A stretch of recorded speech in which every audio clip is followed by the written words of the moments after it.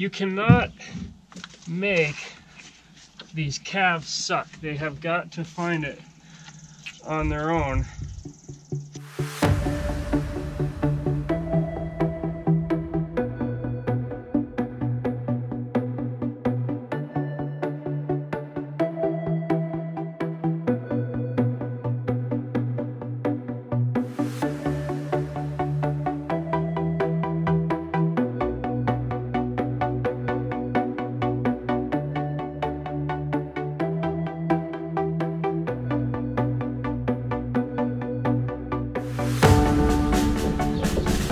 So, just like last year, we're picking up another bottle calf that needs a home.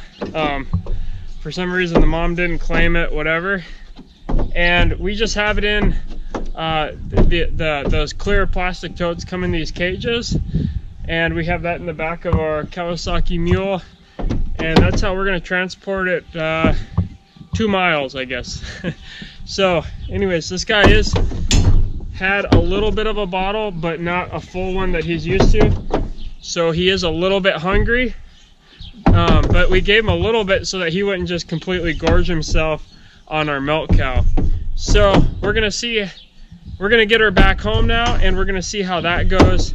And uh, hopefully Belle doesn't mind too much and takes this little calfie on. We know for sure she's got enough milk, that's not an issue. And we know this guy's hungry and he just wants a mommy. So it, I'm hoping that it's gonna work out really well.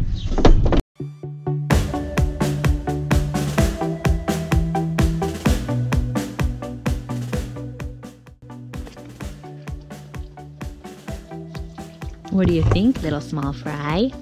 You're just sweet. Are you hungry? Are you hungry? Bring Belle up so that we can introduce her to her new baby, huh?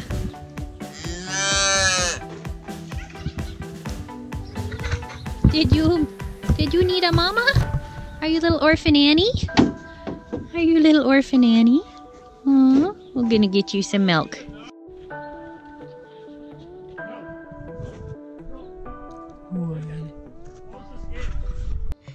Are you upset with us?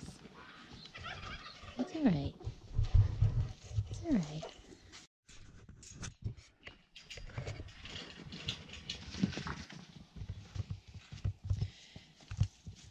So this is the first time introducing Belle to the new baby that we're going to draft on her. We did this last year.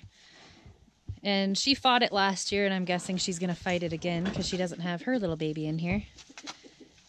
So a little guy's probably pretty hungry, so he's going to know what to do, huh? Keep going, little buddy. Keep going over there, little buddy. There go. She's not going to want anything to do with it because she knows it's not her calf. So how they end up being little orphans is that either their mom dies in birth or the mom might have twins and sometimes she'll just not own one. Okay, so we got this calf sucking now. And what'll happen is is um Belle isn't fighting us. She she knows it's not her calf though. She she's well aware of that. But what's gonna happen is um we're gonna have to tie Belle up and let this calf suck for now. And then what we'll do, yeah, this, it's not on there. But what we'll do is we'll get it so that its poop smells like her milk. And she knows the smell of her milk.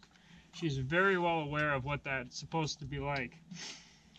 And when this animal poops, it's gonna start smelling like Belle and then Belle will have a lot easier time letting this calf be on at that point. But she's she's not Belle is not fighting us at all. She could be stomping and kicking and trying everything she can to get this calf away, but she isn't. You cannot make these calves suck. They have got to find it on their own. There he goes. And this calf knows how to suck, but it's been bottle fed for for a while. But Bella's Bella's being at least she's being decent with what's going on here. This is not natural for another calf to be sucking. Another thing is, we just got done feeding this calf uh, half a bottle minimum because if we didn't and and this calf just gorged on Belle, that would be detrimental to this calf. Um, has huge fat content in her milk. Her milk is really, um, it's just really good milk. And not that this one isn't, but there's just a lot of difference there. Another thing is that Belle doesn't like being tied up. I mean, we, we don't tie her up for any other reason but to do this. And we did this to her last year too. And so that's not normal to her at all. If we milk her, we put her in a little stanchion deal that we have and it sometimes close it around or whatever. So, I mean, we, we haven't tied her up, but maybe 10, 12 times when we did it last year. Um, so this just isn't really a very fun experience, I guess, for starting out. But um, but this is better to to have her mad because she's tied up is better than to have her go ballistic on the calf and go crazy and sidestep the calf and kick the calf and whatever because she knows it's not right. She knows it's not right now, but she can't get her head around to sniff it really good to really verify things. Um, so, so what our process is going to be through this is that we're even if she, you know, even if she just keeps doing this as good as she is now, um, we're, we're gonna go ahead and and um, I'm gonna keep tying her up at least for a couple of days, and then um, and then we'll we'll let we'll let her go. See, she kicked there, but anyways, we'll we'll let her go, and um, and then and then after several days, we'll we'll let it Oh, we'll let on him figure it out.